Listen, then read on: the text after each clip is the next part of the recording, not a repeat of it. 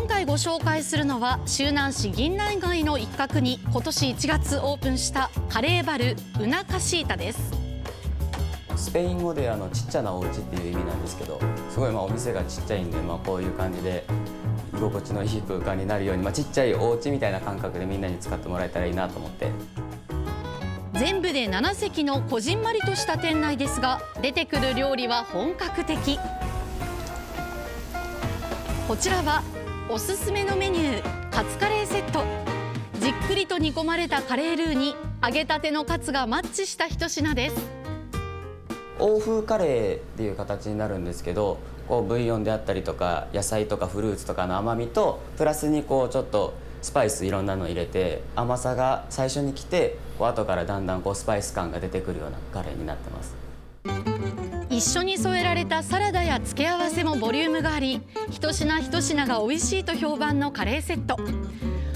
他にも温玉カレーやローストビーフカレーなどが用意されています。続いて紹介するのはこちらのハンバーグセット。カレーだけでなく本格洋食を楽しんでもらいたいと作られたメニューです。このハンバーグの自体のこだわりというのはやっぱりこうしっかりこう練って外はカリッと焼いてるんですけど中はふんわり柔らかいハンバーグになってるんで。玉ねぎをたっぷりと入れたハンバーグはとってもジューシー。デミグラスソースとの相性もバッチリです。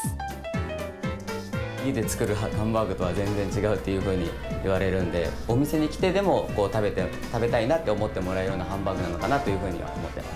す。最後にご紹介するのはディナーメニューのビーフシチューです。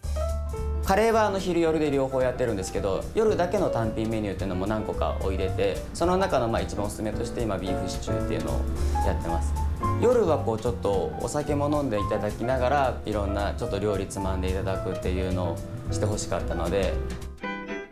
カリッと焼かれたバゲットが添えられたビーフシチュー時間をかけて煮込んだ牛肉は口の中に入れると一瞬で溶けてしまう柔らかさです。このビーフシチューはあの高森和牛のほほ肉を使ってて長い時間こうゆっくり炊いてもう噛まなくてもいけるような感じのあのぐらいまでしっかりあの煮込んでるのでそこがやっぱりこだわりですお客さんがこう1回来ていただいてその1回で終わるんじゃなくてこう2回3回またここに行きたいなっていうふうに思っても何回もこう利用してもらえるようなやっぱお店になるのがお店の目標です。